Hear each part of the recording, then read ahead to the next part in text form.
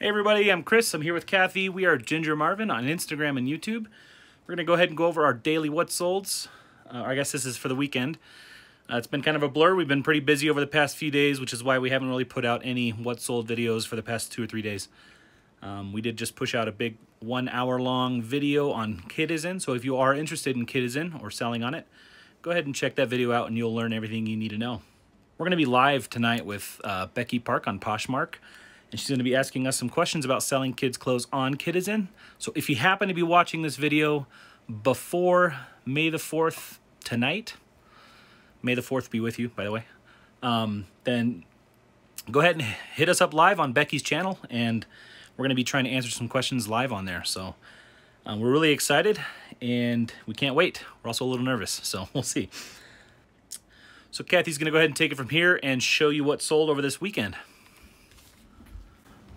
guys, we'll start with Poshmark today. Uh, just two sales on Poshmark. First up is a pair of uh, Universal Threads, I think it is, just the Target brand of shoes. I got these at the Plato's Closet 90% off clearance, so I have $2 into them. I had them listed, I believe, at $20 on Poshmark. I had sent offers on them a few weeks ago and nobody accepted, but then one of the people that did like them wrote and asked if I could resend the offer, which I don't think you can resend offers within like 90 days unless you put it in a bundle or I'm really not that good with the technical stuff on Poshmark so I couldn't figure out how to resend the offer so I just dropped the price to 15 for her which actually worked out in my favor because I didn't have to give her that $2 shipping discount so I'm making an extra $2 so. She paid $15 for these um, but Poshmark took care of the shipping discount since I dropped my price over 10% and yeah so we made about $12 on those. Um, next thing is also from the Plato's Closet. 90% off clearance. Just a pair of men's Levi's black jeans. Uh, someone offered 15 on those and I accepted. Alright, so the next big chunk of sales came from eBay.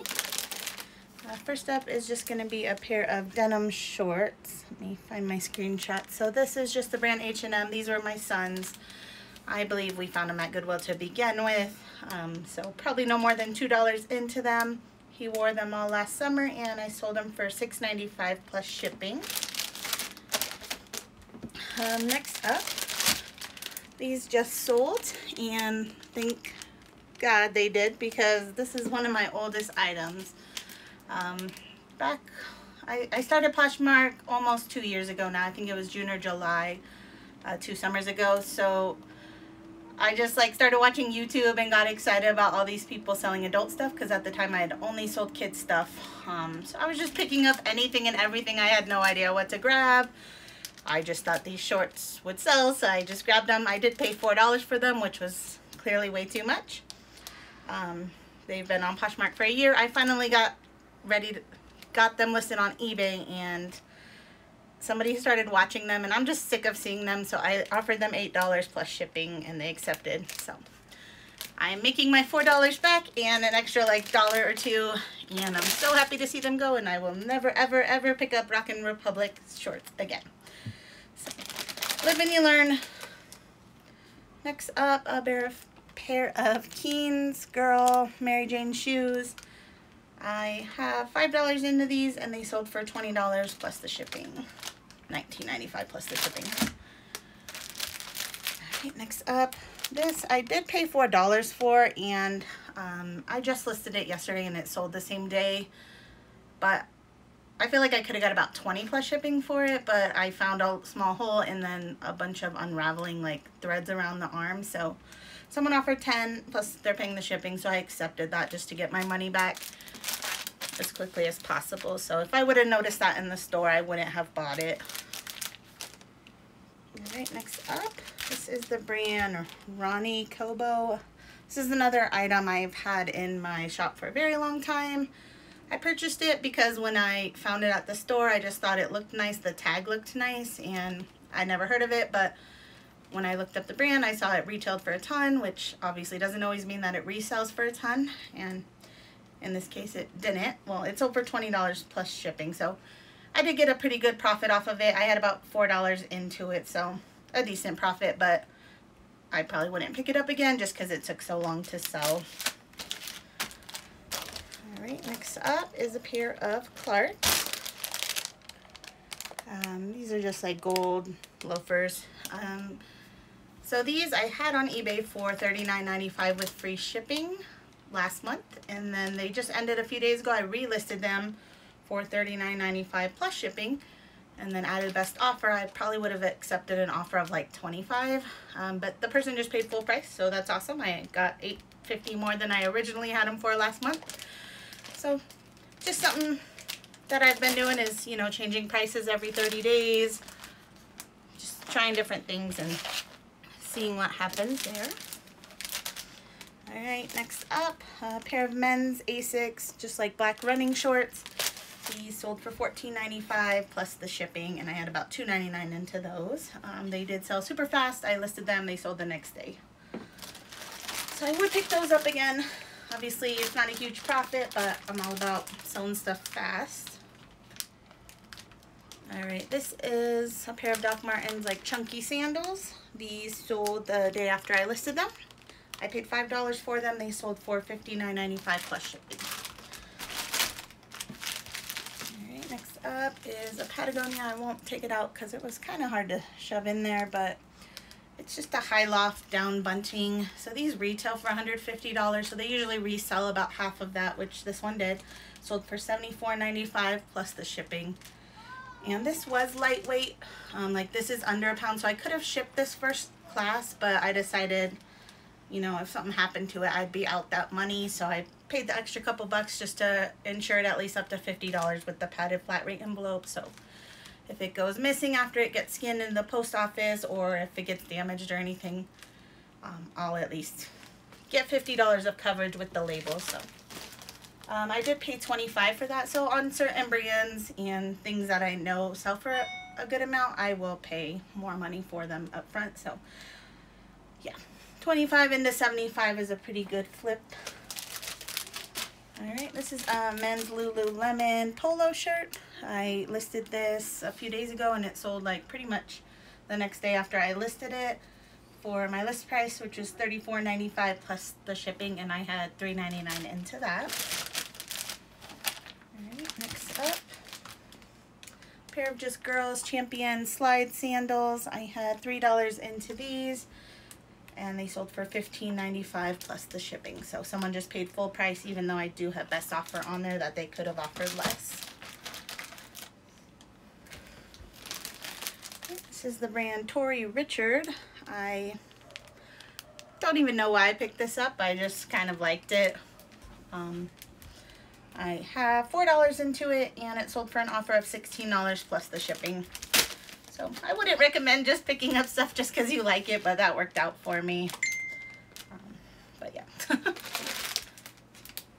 uh, this one sold for a very low amount because again it had some stains on it that I didn't notice in the store. You know, sometimes thrift store lighting can be deceiving. So I had a dollar fifty into it and I sold it for $7.95 with free shipping just to get my money back on it.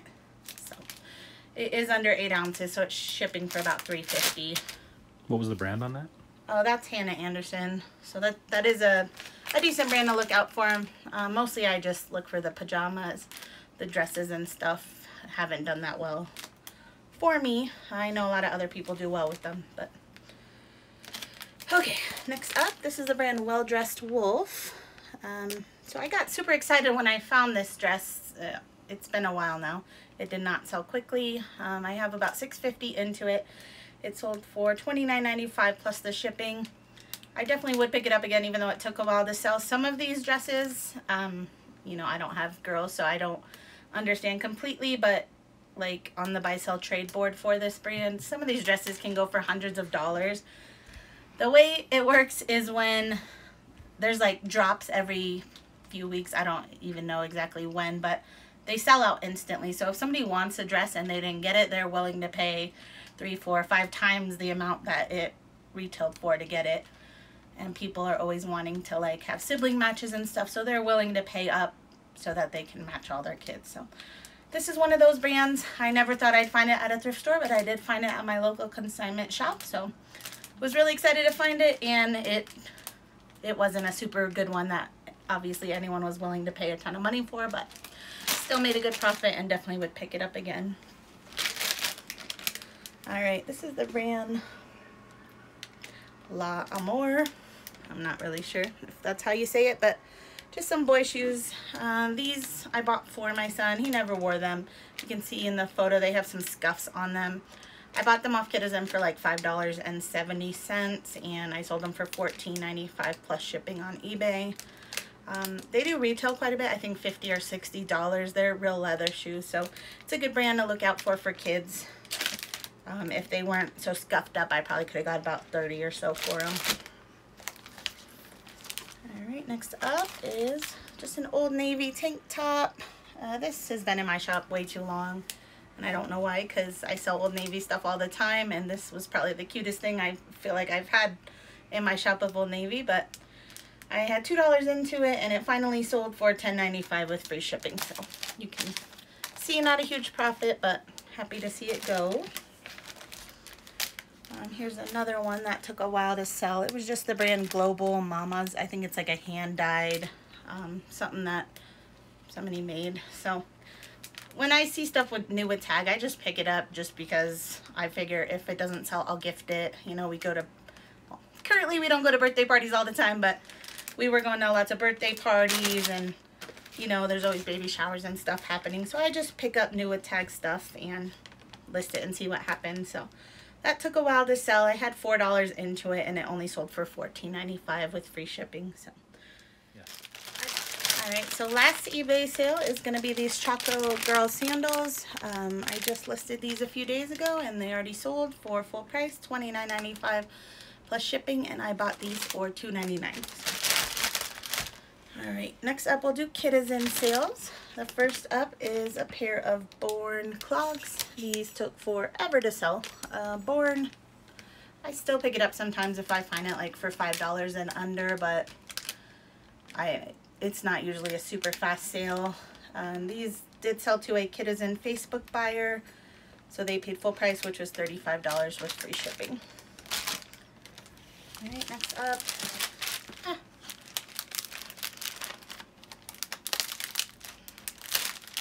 Okay, so this is something I bought for my son. He just didn't wear it. I I don't know why. It didn't really fit him good last year, and then this year I'm just getting rid of stuff, so um, this is the same brand as that dress that I was talking about. So when it sells out, you know, people are wanting it. So you can usually get over retail.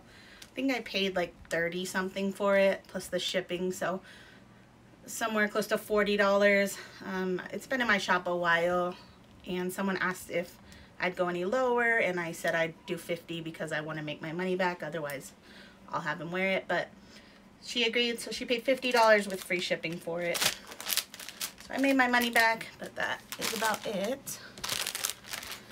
All right, this is a Matilda Jane Platinum top.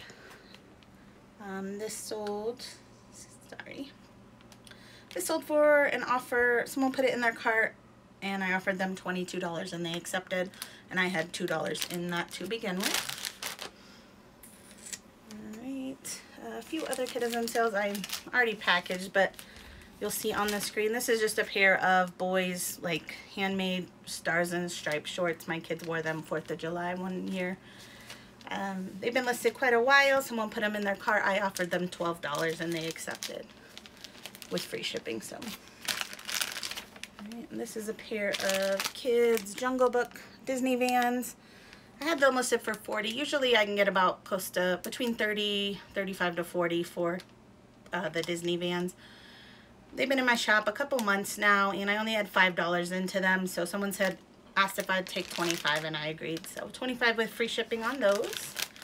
And then this box you see here is a Little People bus, like a toy bus, um, along with a few of the characters. So that sold for $18 with free shipping and the shipping cost $12.50. So that was a bad um, sale on my part a few months ago Mercari was doing like a toy thing where if you listed toys and they sold within a certain amount of time you weren't getting charged a fee on it so I listed a whole bunch of little people many of them sold and which was nice because they did sell on Mercari and I didn't have a fee but since I cross-post everything, I cross-posted this toy to Kidizen without really paying attention in my head that it's going to cost a lot for shipping. So they paid $18 with free shipping and I paid $12.50 out of that for the label. So I made like $4, which is still fine because I it came from a garage sale to begin with and my kids weren't playing with it and we're not having consignment sales right now. And even if we were, I probably would have only made like $5 at one of those. So happy to see that go and just make sure you weigh your stuff before you list it and know how much you're to have to pay to ship it. Alright, so the last few sales are to be from Mercari. Um, this is just a Patagonia jacket. I purchased this off Kidizen a couple weeks ago. Someone had it for a really good price, $24 and I know they usually sell around 50 so I had some referral kid bucks so when you guys join with my code I get those which can only be spent in the app it's not like real cash so sometimes I'll just buy something to resell so that way I can have real cash. So that's what I did here. Paid 24 listed it on Mercari for like 59 someone offered 44 so I accepted that. So I made about $40 on it minus you know the $24 the 24 fake dollars I spent on it to begin with. So I made about $40 real cash on that. Alright, next up, this is just like a Stitch, a Disney t-shirt. Has a front and back graphic and I had this listed for like 25 plus shipping. Someone offered 18 plus shipping, so I accepted that. I only had $2 into it. Okay, and very last thing that sold was a Quiksilver one-piece rash guard. This was my son's. I can't remember what I got it for. I, I know I bought it off Kidizen, but I think I paid 10 or 12 to begin with. Someone offered 12 plus the shipping, and I accepted that. So made most of my money back on that. So yeah, we had a pretty good weekend. Some high dollar sales and also some really low dollar sales, but getting stuff cleared out is making me very happy. So. All right, guys, so that's going to do it for today. We're going to go ahead and package these up and take them off to the post office. And that'll be it for today. So I want to thank you all for watching. Um, I forgot to mention this in the beginning, so I want to say it here. I might try to splice it in the beginning, but we're going to be live tonight with uh, Becky Park on Poshmark. And she's going to be asking us some questions about selling kids' clothes on Kidizen. So if you happen to be watching this video before May the 4th tonight, May the 4th be with you, by the way um, then go ahead and hit us up live on Becky's channel, and we're going to be trying to answer some questions live on there. So um, we're really excited, and we can't wait. We're also a little nervous, so we'll see. But that's going to do it for us for today. We're going to pack them up and get out of here. So we'll see you guys tomorrow with another What Sold video. Bye, guys.